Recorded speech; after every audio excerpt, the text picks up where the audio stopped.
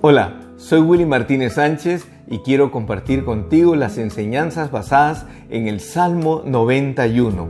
En esta oportunidad vamos a leer el versículo 7, 8 y 9. Dice, caerán a tu lado mil y diez mil a tu derecha, pero a ti ningún mal te alcanzará.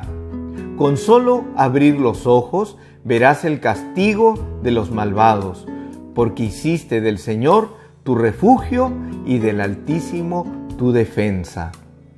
Pues aquí el Señor se compromete de manera bella a protegernos. Dice, a un lado caerán mil o diez mil, pero a ti no te tocará. Eso es porque los hijos de Dios somos privilegiados. Hay una bendición especial, hay una unción sobre cada uno de sus hijos. Somos los predilectos de Dios y somos protegidos por Dios. Y muchas veces he visto innumerables casos de cómo Dios trae victoria, trae mucha bendición a la gente que le es fiel a Dios, a la gente que le pertenece, que corresponde al amor misericordioso de Dios. Y Dios nos está dando aquí una luz tremenda a través del salmista. Dice, a ti ningún mal te alcanzará. A veces hay gente que tiene miedo a la brujería, a los maleficios, a las maldiciones. Pues repite lo que dice este salmo, pero a ti ningún mal te alcanzará. Y tú lo puedes decir, ningún mal me alcanzará, porque podrán caer mil, diez mil, pero a mí no me va a tocar porque yo le pertenezco a Dios. Esto es algo que usted tiene que repetir muchas veces. No porque Dios no lo sepa, sino que usted tiene que recordarlo para vivir y caminar en concordancia con la bendición que Dios le quiere dar.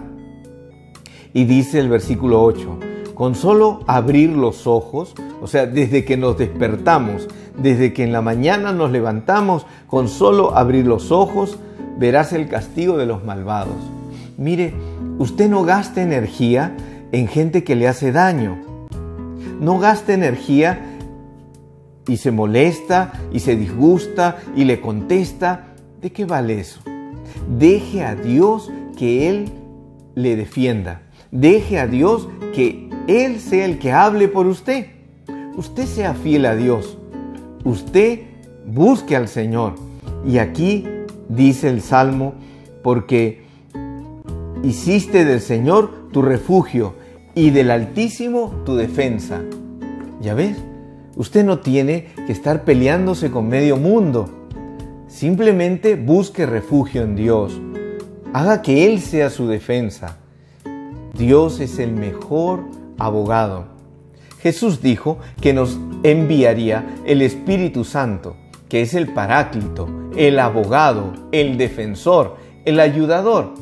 Entonces, ¿qué hacer cuando la gente te ataca, habla mal de ti, te calumnia? Invoca al Espíritu Santo. Allí encontrarás el mejor abogado, el mejor defensor de tu vida. Que Dios te bendiga y recuerda esto, siempre firmes en la fe